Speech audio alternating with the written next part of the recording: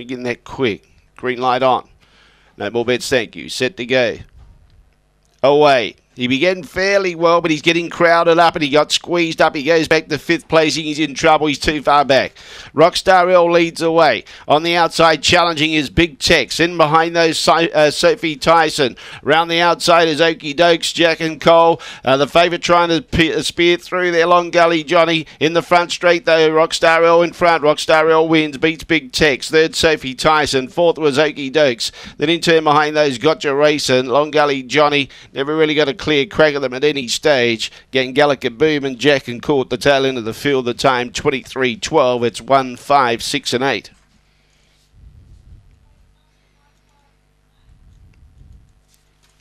One five six eight. The judges' numbers. Two and a half by three quarters. Two and a half by three quarters. Twenty three twelve. The time. Eight seventy nine was the early split. Run home 14.33.